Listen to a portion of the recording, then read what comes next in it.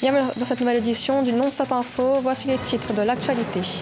Célébration au Congo du 60e anniversaire de la proclamation de la République. Le gouvernement a mis en avant l'importance du vivre ensemble, mais l'opposition attend des mesures concrètes pour une véritable unité de la population. Au Togo, le parti au pouvoir Union pour la République se prépare à l'approche des législatives prévues le 20 décembre prochain. Le parti forme ses candidats pour entamer la campagne électorale.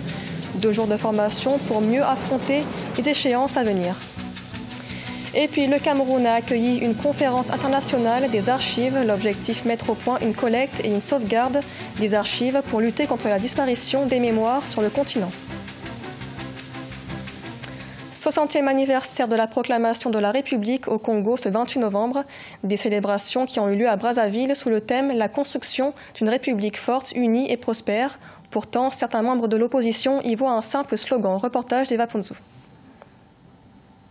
C'est au tour du chef de l'État Denis Sassou Nguesso que les autorités politico-militaires et civiles ont célébré le 60e anniversaire de la proclamation de la République ce mercredi 28 novembre 2018 sous le signe du travail à la place symbolique dédiée à cette date historique. Le travail est donc la conséquence de notre unité et la condition de notre progrès. C'est pour cela que cette année encore, la célébration de la République est placée sous le thème du travail que nous aborderons sous l'angle de sa faculté à promouvoir le vivre ensemble et à cimenter l'unité nationale. Bousculée par plusieurs événements, notamment la publication du livre Génocide des Laris au Congo, l'unité nationale a subi un coup. Mais cette unité devant aboutir au vivre ensemble, prônée par les autorités congolaises, n'est pas assez promue selon l'opposition. On ne peut pas s'assembler si on ne se ressemble pas. Malheureusement, nous sommes encore une société avec trop de différences et c'est ça qui complique l'avènement du vivre ensemble. Et je crains que ça ne soit un slogan comme parmi d'autres qu'on va garder dans les tiroirs. Cette cérémonie a aussi été l'occasion de reconnaître le mérite de certains Congolais qui ont élevé haut le drapeau national, tel que l'ancien champion d'Afrique de football, Cameroun 1972, Tostao. Je suis très content. Vraiment, la nation ne peut être décoller n'importe qui. Je crois que si euh, je suis commandeur aujourd'hui, c'est parce que j'ai beaucoup fait pour la nation, pour le football. Notons que ce n'est qu'à partir de l'année 2010 qu'a eu lieu la première célébration de cette date historique. En 1958, la proclamation de la République du Congo avait accéléré son accession à l'indépendance deux ans plus tard. En République démocratique du Congo, début de la campagne électorale pour Félix Tshisekedi et Vital Kamerhe, les deux leaders de l'opposition ont été accueillis par des milliers de sympathisants à Kinshasa ce 27 novembre, après la signature de leur accord de coalition à Nairobi, au Kenya. Reportage de Jacques Amboka. Félix Tshisekedi et Vital Kamere ont regagné Kinshasa ce mardi 27 novembre en provenance de Nairobi où ils ont signé un accord qui désigne Tshisekedi comme candidat commun du camp pour le changement à la présidentielle du 23 décembre.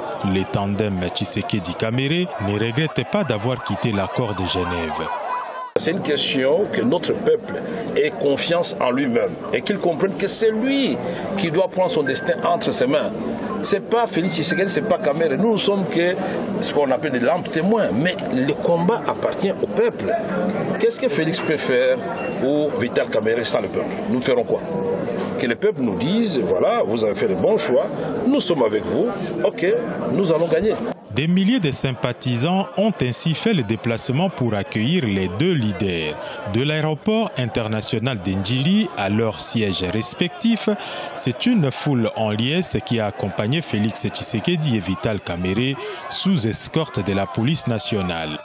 Et donc aujourd'hui, nous sommes venus accueillir les deux leaders, le vrai leader de l'opposition, à savoir Félix Tshisekedi, candidat commun de l'opposition et son directeur de campagne, le président Vital Kamere.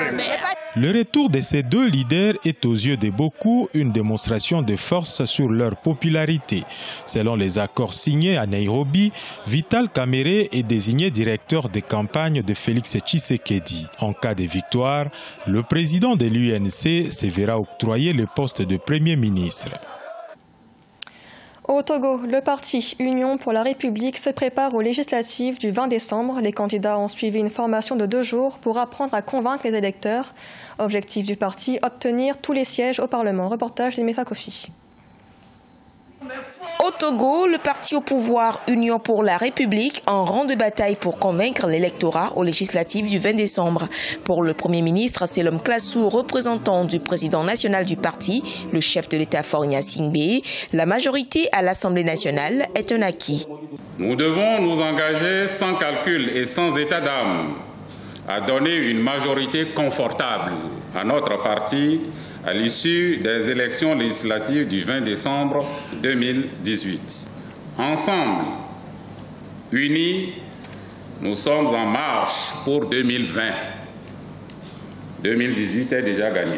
Au terme de cette formation de deux jours, les candidats aux législatives auront l'art de convaincre et seront à même de poursuivre à l'Assemblée nationale les avancées opérées par le parti. C'est une formation pour euh, équiper les militants de tout ce dont ils ont besoin pour faire une campagne paisible, une campagne qui permette de gagner tous les sièges dans toutes les préfectures. Malgré l'intervention de la communauté économique des États d'Afrique de l'Ouest pour définitivement résoudre la crise politique au Togo, le mal persiste. Les réformes semblent être bloquées à l'Assemblée nationale.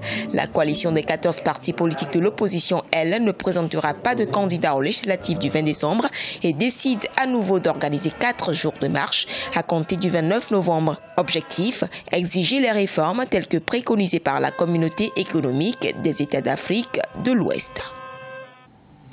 Le Rwanda lutte contre l'érosion pour protéger l'environnement. Pour cela, le pays poursuit sa campagne de reboisement des collines.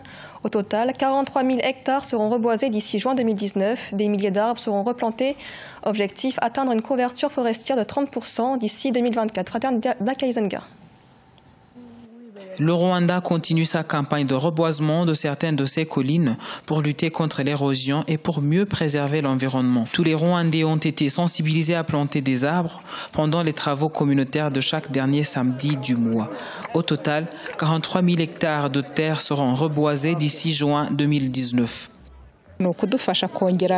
Cette colline est l'une des plus accidentées de Kigali. Même avec les terrasses radicales, il est impossible de retenir l'eau des pluies. Nous pensons qu'avec les arbres, il y aura moins de dégâts. L'eau de pluie a suffisamment fait de dégâts. Il faut que ça s'arrête. Pour la saison de plantation 2018-2019, un total de 38 119 hectares d'agroforesterie seront exploités, 4 800 hectares de forêts classiques et plus de 225 000 arbres fruitiers.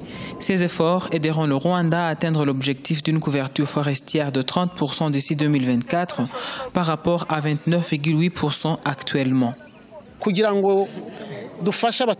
Nous avons pensé aux arbres fruitiers car ils peuvent cohabiter avec des cultures, mais également pour aider la population à trouver une source de revenus. Donc le rapport n'est pas seulement environnemental, mais aussi économique. Ces dernières années, le Rwanda a connu des pertes considérables causées par la pluie. Depuis le début de l'année 2018, plus de 200 personnes ont perdu la vie des suites des pluies torrentielles. Plus de 10 000 maisons d'habitation ont également été détruites, ainsi que plus de 4 500 hectares de culture. Le reboisement des collines se présente alors comme l'une des solutions selon les autorités rwandaises. Une conférence internationale des archives a eu lieu au Cameroun jusqu'au 28 novembre. Le thème Archives, gouvernance et patrimoine. L'événement est une première sur le continent et vise à donner aux pays africains les outils de modernisation de l'archivage de leurs données historiques. Reportage de Viviane Bauken. La conservation des archives en Afrique inquiète. Le constat est posé par les experts archivistes internationaux réunis à Yaoundé depuis ce lundi 26 novembre 2018. L'Afrique, selon les spécialistes, est l'un des continents confrontés au dilemme des mémoires volées. Il faut pour cela développer des stratégies de sauvegarde des lieux de mémoire. les lieux de mémoire, les archives sont constitués des lieux de mémoire où l'on a conservé l'essentiel de ce qui a été fait par ceux qui sont passés et que ceux qui vivent présentement peuvent consulter.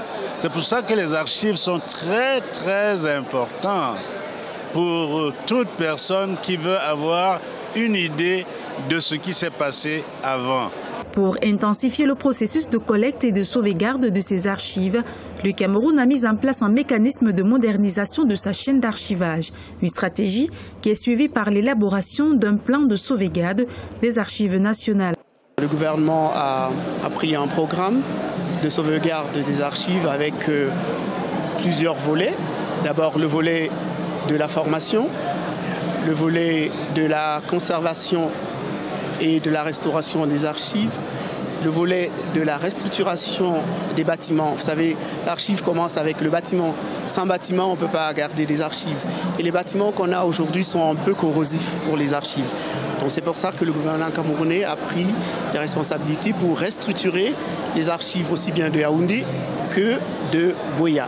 L'Afrique, qui accueille pour la première fois la conférence annuelle du Conseil international des archives, entend profiter de cette plateforme pour acquérir les outils nécessaires pour la modernisation et la numérisation de ces archives. Ce journal a été réalisé par l'ensemble de la rédaction. Merci de l'avoir suivi. L'actualité continue sur Africa 24.